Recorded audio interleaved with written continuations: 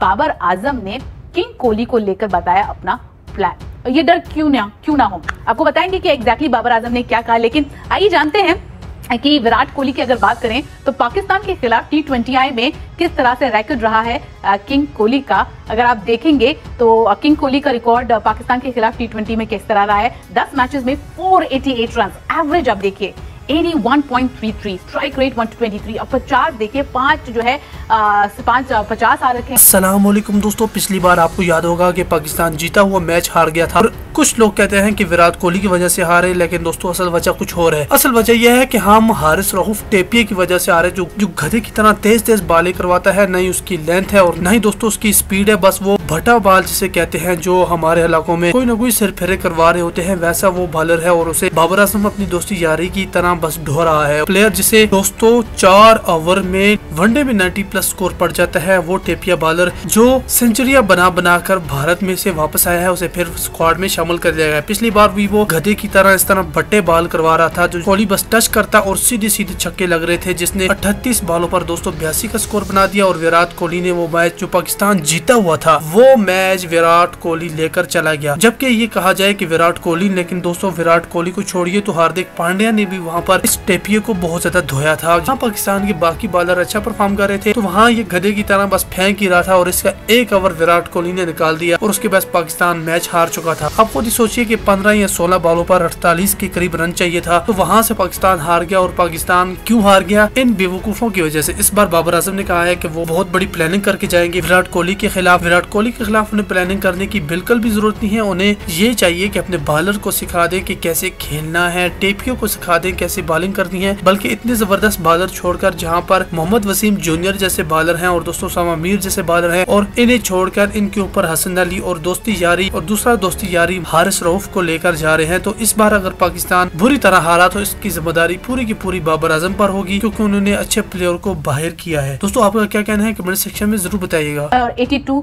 Not out जैसे मैंने आपको कहा हाईएस्ट स्कोर है पाकिस्तान के खिलाफ किंग कोहली का टी ट्वेंटी आई में। और ये मेलबर्न में ही आया था 53 गेंद में उन्होंने खेला था। और आपको बता दें, यहाँ पे उनके चौके कितने थे? छह चौके थे और चार छक्के थे। गगन चुंबी वो छक्के थे और आपको याद होगा जिस तरह से उन्होंने हारिस राव को मारा था और वो मार अभी भी शायद पाकिस्तान के दिल में जो है गड़ी हुई है और परेशान कर रही है। यही कारण है कि पाकिस्तान के कप्तान बाबर आज़म आयरलैंड के लिए हो रहे थे रवाना, लेकिन उन्होंने टी ट्वेंटी वर्ल्ड कप की बात कर ली। 9 जून को न्यूयॉर्क में इंडिया और पाकिस्तान आमने सामने होंगे और इस मैच का दोनों देशों के फैंस को बेसब्री से इंतज़ार है और पाकिस्तान की प्लानिंग अभी से शुरू हो चुकी है। और आइए जानते हैं बाबर आज़म ने विराट कोहली और टीम इंडिया को लेकर क्या कहा इस प्रेस कॉन्फ्रेंस में।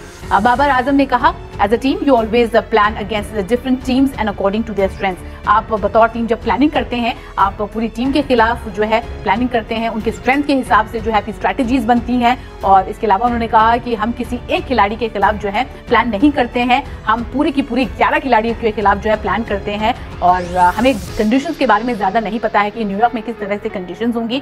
कंडीशन को देखने के बाद चीज़ें जो है हम प्लान करेंगे। विराट कोहली के बारे में जब उनसे पूछा गया तो उन्होंने कहा, Virat Kohli is one of the best players and we will plan against him as well दुनिया के सबसे बेहतरीन खिलाड़ी हैं और उनके खिलाफ भी हम प्लान करेंगे। तो पाकिस्तान जो है टी ट्वेंटी वर्ल्ड कप की प्लानिंग अभी से उन्होंने स्टार्ट कर दिया है इंडिया के खिलाफ और स्पेशली उन आ, उनका फोकस जो है विराट किंग कोहली पर रहेगा। जिस तरह से विराट कोहली ने 2022 में पाकिस्तान को ध्वस्त किया था और पाकिस्तान अभी से जो है कोहली से डरती नज़र आ रही है।